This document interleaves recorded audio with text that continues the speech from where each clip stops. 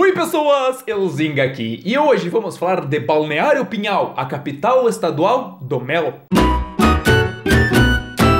Quem não conhece, Balneário Pinhal é uma cidade do litoral norte gaúcho com pouco mais de 10 mil habitantes, coladinha em Cidreira, Palmares do Sul e Capivari do Sul e distante uns 95 quilômetros de Porto Alegre, mais ou menos. E no Pinhal, assim como em todas as cidades litorâneas, a gente já sabe que quando chega o verão, a população da cidade triplica e todos os moradores ficam bem loucos dentro de casa reclamando que as coisas estão custando o triplo do preço e que acabaram os cacetinhos e a salsicha também. Alegria de povo litorâneo é quando os turistas vão embora e a cidade volta à calmaria de durante o ano inteiro. Mas como a gente sabe também, as praias do sul são famosas pelas chuvas, então é muito comum os balneários pinhalenses ficarem em suas queridas casinhas por longos períodos de hibernação, apenas saindo para ir trabalhar na prefeitura ou em algum mercado pela cidade enquanto esperam a chuva passar. E quando passa, só dá a roupaiada em cima da cerca de casa, é uma loucura. E quando o sol vem para a alegria de Iemanjá, essa gente desentoca de casa, de bando e migram lá pra Praça do Osso da Baleia tomar chimarrão, que antigamente eles até sabiam de onde vinham aqueles ossos, mas que hoje gera uma dúvida cruel na cabeça dos viventes. Mas esse osso, ele é da cabeça ou da bunda? E talvez uma das frases que os turistas mais ouvem no Pinhal é Ban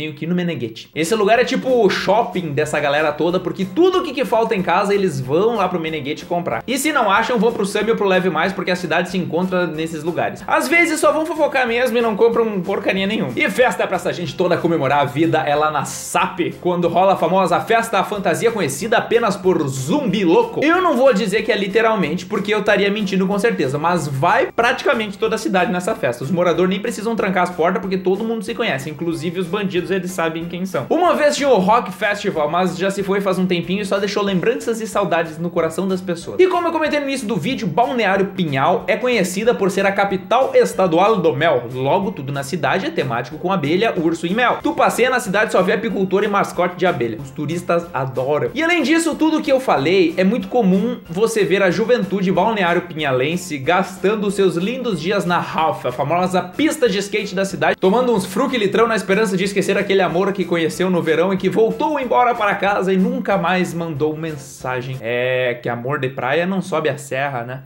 Triste. E quando os dias estão quentes, é bem comum tu ver os moradores da praia jogando bola ou dançando zumba lá no Sesc. E se tu quiser saber onde andam os viventes, é só pedir em que guarita que eles estão, porque as guaritas vão dominar o mundo ainda e substituir o GPS. Escreve só aqui que eu tô te dizendo. E se tu tá em dúvida de quando realmente começa o verão, é só ficar ligado na data que o parque de diversão se instala na cidade. Eu nunca falho esse negócio aí. E pra comer, essa gente vai no Coyote pra comer comida, não pra comer gente. Nesse lugar eles vão pra calibrar o pulso apenas. Também pedem pizza na fornalha, é X no El Timonero e quando tão preguiça até ele vem sempre do triplo X. Mas se o negócio é fazer bonito com a menina turista que vem de fora, aí lá no Juan e Maria é o programa preferido de todo E se tu nunca conheceu o Pinhal na vida e tá indo pela primeira vez, não pode deixar de passar pelo famoso túnel verde, uma das coisas mais bonitas que você verá na sua vida. Uma estrada coberta por árvores que formam um túnel assim, ó, vale muito a pena conhecer. E quem aqui nunca ouviu falar do tio Rony ou daquela senhora que fica pedindo fumo pras tias das casas, ou que não passe meio dia falando dos buracos entre Pinhal e Magistério, ou que não se pergunte por que não tem sinaleira entre as avenidas Itália e Castelo Branco? Ó oh, céus! Ou que não se pergunte também qual a necessidade de tanta farmácia numa cidade só. Enfim, são tantas coisas que eu acho que daria uma série do Netflix se eu falasse de tudo aqui, gente, tá? Então, se você curtiu esse vídeo, não esqueça de curtir e compartilhar com seus amigos pinhalenses, balneário pinhalenses, e também se ver aqui embaixo sobre todas as outras coisas que acontecem no Pinhal.